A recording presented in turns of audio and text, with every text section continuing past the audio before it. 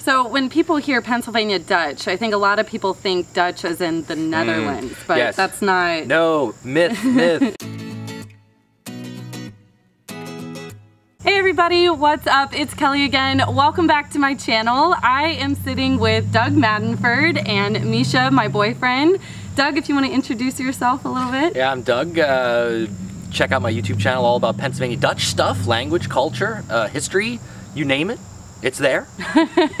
And Misha, do you want to introduce yourself? Nah, I'm good.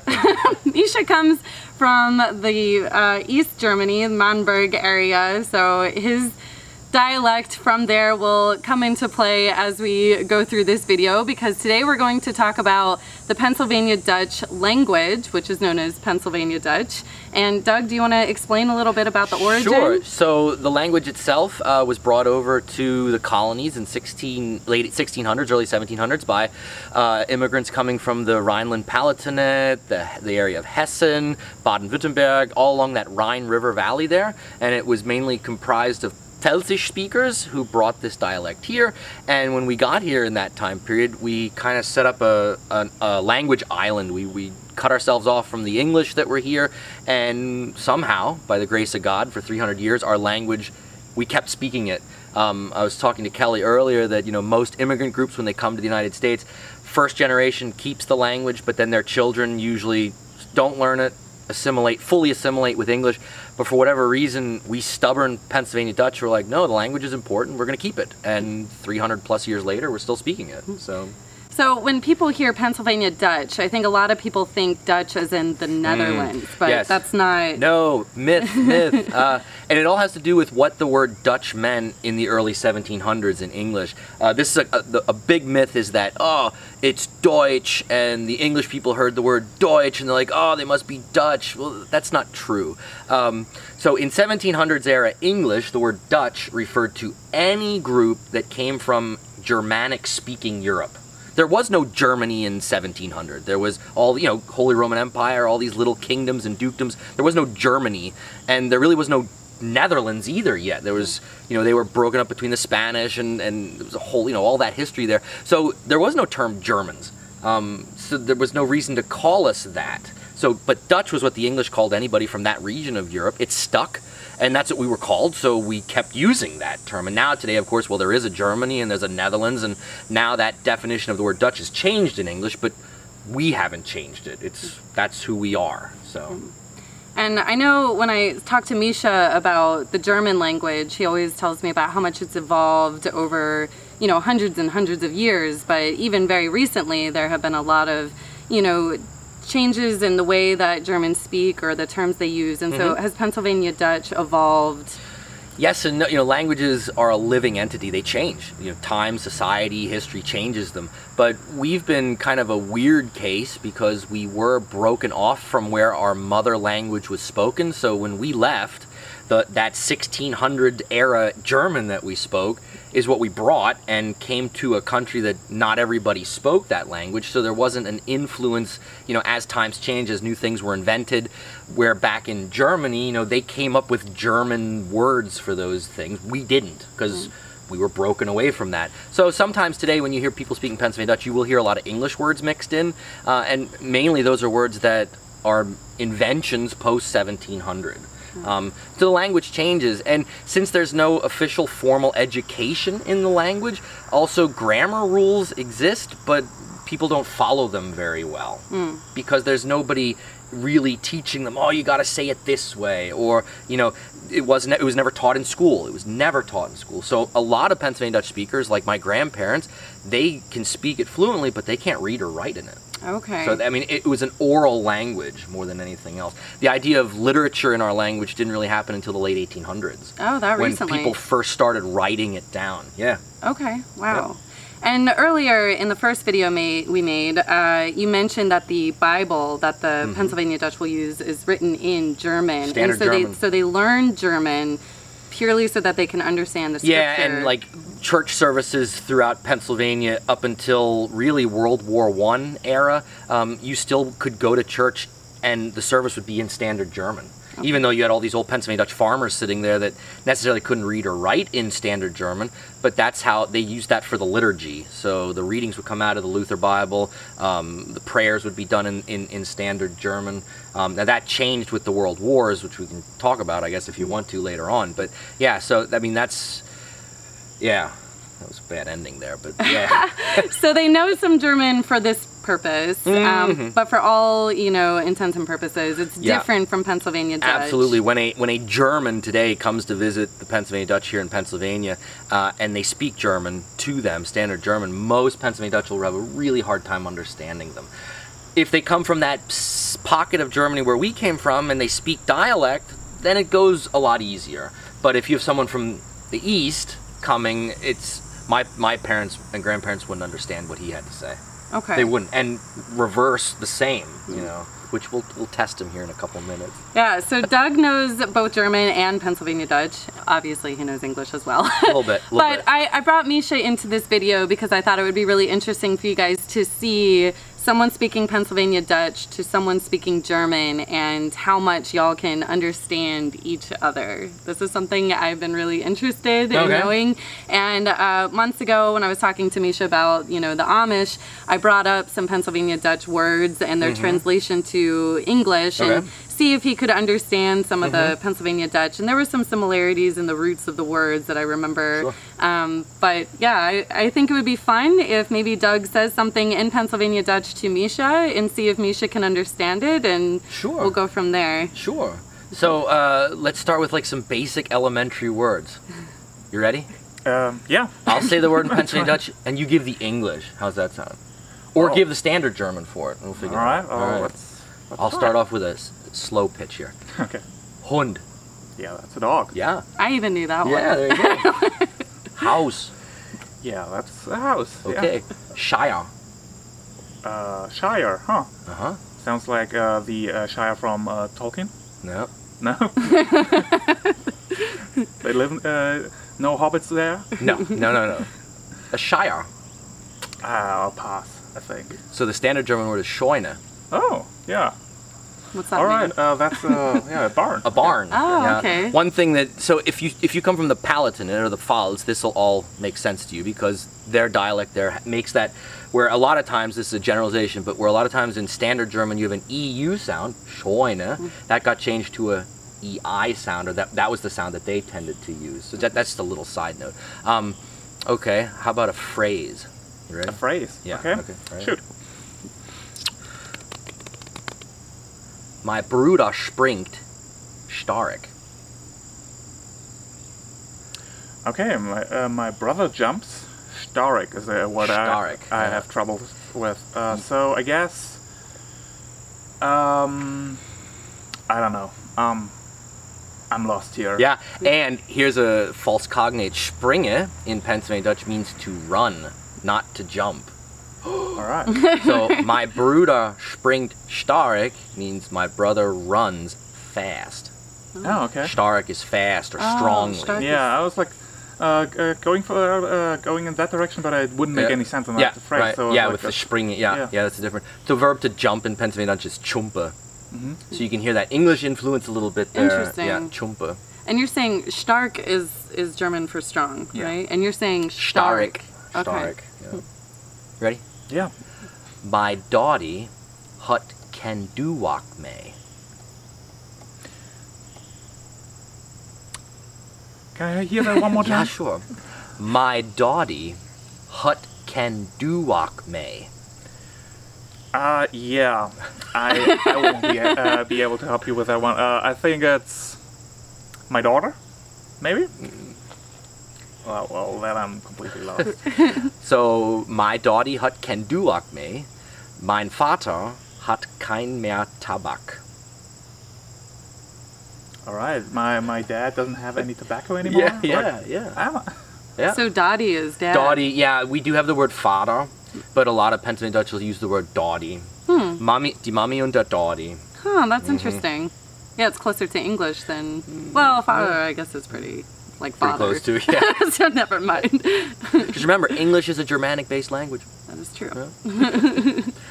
Does that scare you when I speak that dialect? No, no, it's just I'm just confused. yeah. It's, like sitting here, not quite understanding what you're saying, no, sure. but uh, yeah, Yeah, I mean, I've, I've, I've traveled through a lot of regions of Germany. I've pretty much been all over the country, and I know what regions I can safely speak in dialect in, and I know people will understand me or at least get most of it. And then I know where there's no chance in you know, snowball's chance in hell that I can use it. Like if I travel to the region where, where you're from, I know that it, it, it would be stupid for me to try and speak dialect, and then I just switch into Hochdeutsch, and then I should be. Usually, I'm okay. Yeah. Well, it's nice that you know both. so- yeah, it, it helps. It helps. It helps. Oh, so do you have any questions for Doug regarding like how they have worked the language or the differences between German and Pennsylvania Dutch? Um, so when I was uh, walking around uh, uh, uh, and we went to a Amish grocery store, Mhm. I heard some uh, people talking and it sounded to me Dutch. So I don't know any Dutch,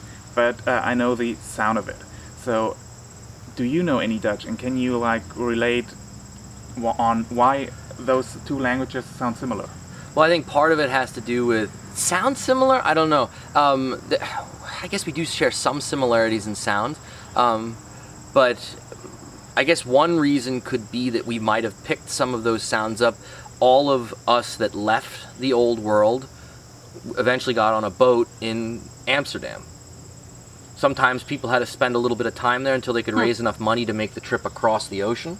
Um, so there could be some influence there. I, I mean, most Pennsylvania Dutch speakers, though, I don't think sound Holländisch or sound Dutch really. Um, you know, a lot of the Amish you encountered some Amish. They actually speak more of a Swiss style German, like our their Pennsylvania Dutch. Like here's a let's get grammar nerd here or linguistic nerd. So uh, in standard German, to make something diminutive, we add chen, Mädchen. Okay. Yeah. In non Pennsylvania, in non Amish Pennsylvania Dutch, we put che on the end of a word. So a cup in Pennsylvania Dutch is a kupje, but the Amish would say kupli, which in Swiss German they tend to use li as their diminutive form. Yeah. So maidli, uh, kupli. So that has that they brought with them as well that linguistic difference. Um, I, if, if an Amish, if I speak to Amish, I understand them. They understand me. They might use a couple words differently than what I would use, and vice versa. But we're intelligible to each other. So that's one thing to keep in mind. Um, but yeah, it's not just the language is different from region to region here in Pennsylvania, just because different regional groups came over. And as you know, in Germany, how many different dialects are there still spoken today? Three. Yeah. There's a lot more than three. Three main ones, maybe. But Did you? sp- Was there a, was there a regional dialect where you grew up? Uh, yeah, yeah. I grew up in uh, Mag- uh, Magdeburg, and um, in Magdeburg, it's uh, people assume it's in East Germany, and uh, they have like all this uh, Eastern uh, uh, sound to, uh, to it. The whole language is not, but the whole language is the same thing, right? Mhm. We have, uh, of course, a couple of special words uh, that are uh, special to the region, but in Magdeburg, actually, we speak kind of a like uh, it, it's closer to Hochdeutsch than most people would assume. Yeah.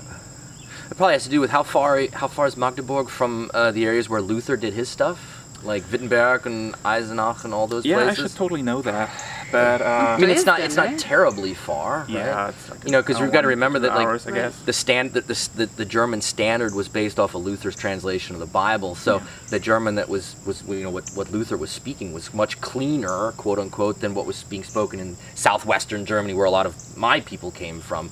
But in, if you travel into southwestern Germany, there are regional dialects from town to town that are different to each other, and I think that you know plays a huge role in it. You know how these groups came together and the the language kind of meshed. All these different little dialects meshed into one here in here in Pennsylvania. right. And then I'm always hearing that the Bavarian dialect is Yeah, for example, or like. Austrian German, or yeah, and then even within Bavaria itself, you have Franconian, you have Upper Franconian, you have Lower Franconian, then you have you know with you have Schwäbisch and Pfälzisch and Saarländisch. I mean, just Right. within that region of Germany alone, there's dialects. Every little town has their own dialect, and that's like I talk to Germans that are there. It might not be the case where you're from, but the big difference is, you know, are younger Germans only speaking Hochdeutsch, hmm. or are they maintaining those old dialects? And from what I heard from a lot of people, and maybe you, you know, you guys agree out there, but the younger generations are kind of moving away from the dialects. It's everything standard German. Oh, that's old fashioned. That's what my grandparents speak. There's no reason for me to learn that. Hmm. And that, to me, I think that's really sad. Speak your dialects. It- you know, learn German, yeah, that's fine, but speak your dialects. That's it's a part of your history and culture. Right. So, I mean, that's how I feel. I mean, I'm speaking English. Whenever I call my mom and have a conversation with her, and she'll use some some dialect for Yeah, lack regional of a better term. words. Yeah, Right. absolutely. You know, I get really excited because it's this home folky Sure, language that I know. So I try to use the it words. shows where you're from. you know, and, you know, and there's, right. I know some Germans aren't too.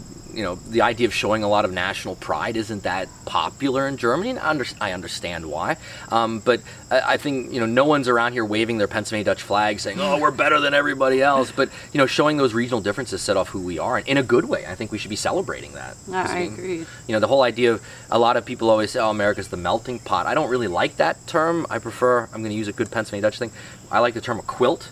We all Oh. have different little squares, and together we get sewn into one big quilt. But each little square maintains its own identity, its own color, its own you know pattern. So I think that's you know that's my vision of America and why I keep speaking the language that I do. Um, I could have decided not to, and I could have decided when I had kids, I'm not going to pass this on. It's stupid. It's old. Um, but I think that's it's part of who I am. It's part of who my kids are. Um, you know that we've been speaking it for 300 years. You know, as as as my f- ninth great grandfather went off to fight the American Revolution.